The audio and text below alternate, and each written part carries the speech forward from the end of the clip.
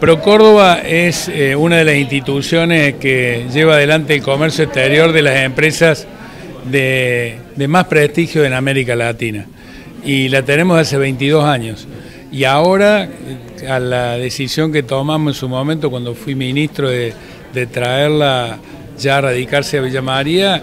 eh, hoy el presidente de la agencia Pro Córdoba, un querido amigo que es Pablo de Chiara, fortalece mucho más eso y decide que eh, junto con AERCA, el municipio pueda poner los recursos humanos que necesitan las empresas para que las asesoremos a aquellas que exportan,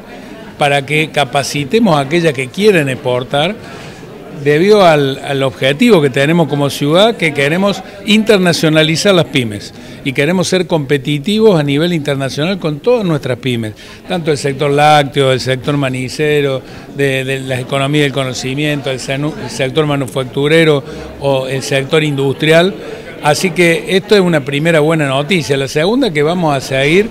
potenciándonos a partir de la decisión que tiene el gobierno provincial a través del Pro Córdoba de financiar esta experiencia que hace a través de AERCA hace 20 años, este, todos los años, que el, Villa María exporta,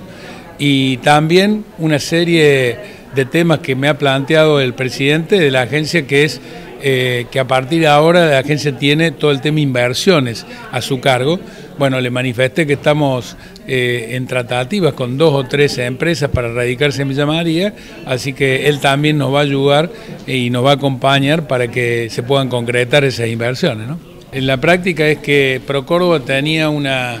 sede en Córdoba y tenía una sede en San Francisco. Eh, en el mes de octubre yo creé este, por el decreto una sede en Villa María,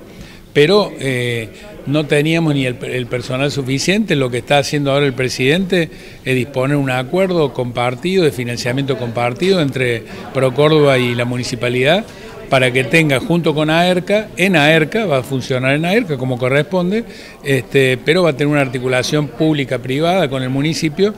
eh, del financiamiento del personal que va a articular a las pymes eh, que exportan y a las pymes que quieren exportar. Hicimos un estudio que lo hizo Procórdoba justamente a fines del año pasado, donde muestra que el 32% de las empresas de Villa María región eh, exportan. Y está comprobado que una pyme que exporta, eh, el trabajador que trabaja en esa pyme cobra un 50% más del trabajador que trabaja en una pyme que no exporta. Por lo tanto, para nosotros también es muy importante porque es creación de empleo genuino, pero creación de un empleo calificado. Y lo decía recién Pablo de Chiara, es sin duda que el talento creativo que tiene Villa María, la aspiración que tenemos de duplicar hasta el 2030 la cantidad de estudiantes universitarios, nos va a llevar a que Villa María sea cada vez más una este, ciudad que tenga internacionalizar eh, su producción.